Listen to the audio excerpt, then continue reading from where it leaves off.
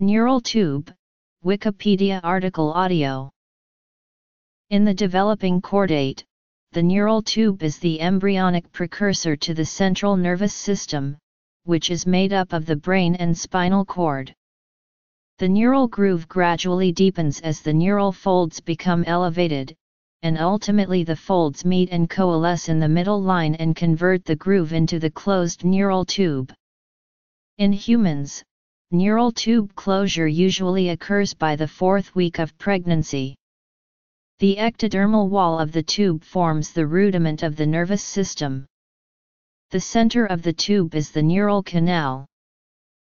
Development Structure Dorsal ventral patterning The neural tube develops in two ways, primary neurulation and secondary neurulation.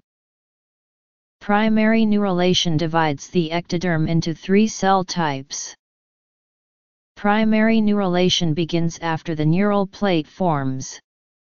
The edges of the neural plate start to thicken and lift upward, forming the neural folds.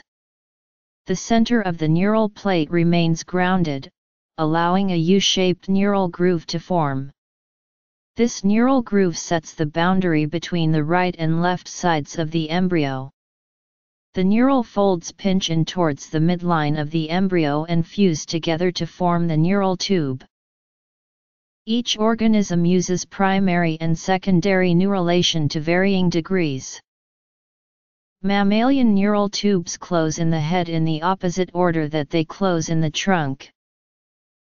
Four neural tube subdivisions each eventually develop into distinct regions of the central nervous system by the division of neuroepithelial cells, the forebrain, the midbrain, the hindbrain, and the spinal cord. For a short time, the neural tube is open both cranially and caudally. These openings, called neuropores, close during the fourth week in humans.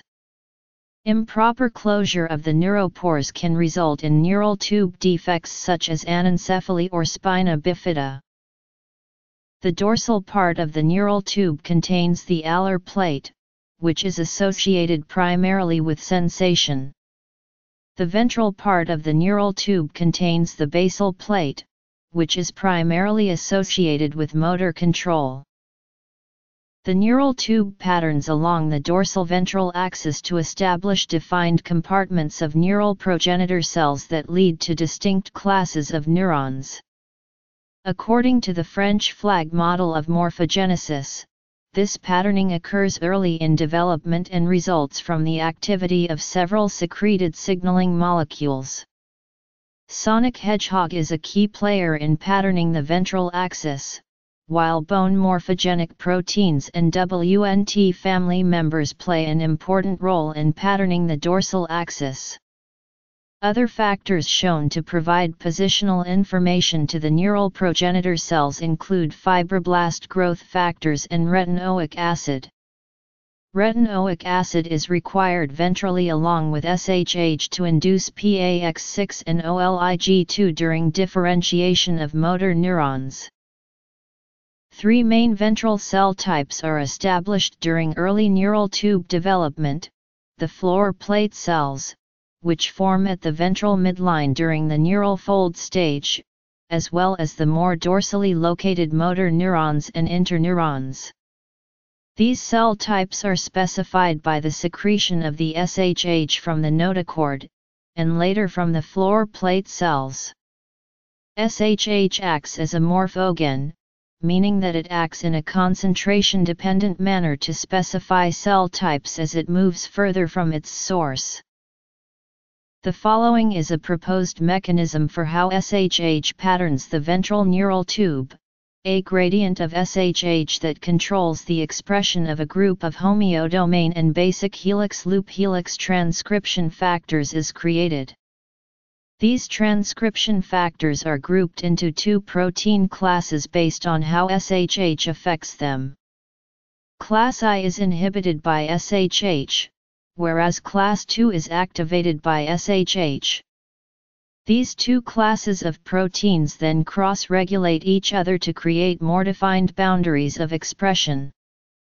The different combinations of expression of these transcription factors along the dorsal ventral axis of the neural tube are responsible for creating the identity of the neuronal progenitor cells. Five molecularly distinct groups of ventral neurons form from these neuronal progenitor cells in vitro. Also, the position at which these neuronal groups are generated in vivo can be predicted by the concentration of SHH required for their induction in vitro. Studies have shown that neural progenitors can evoke different responses based on the length of exposure to SHH, with a longer exposure time resulting in more ventral cell types.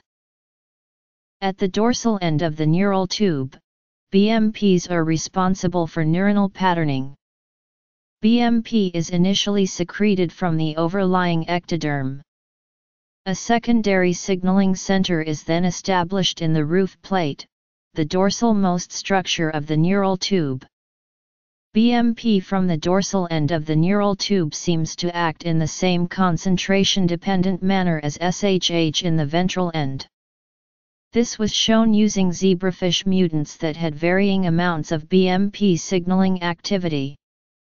Researchers observed changes in dorsal ventral patterning, for example zebrafish deficient in certain BMPs showed a loss of dorsal sensory neurons and an expansion of interneurons.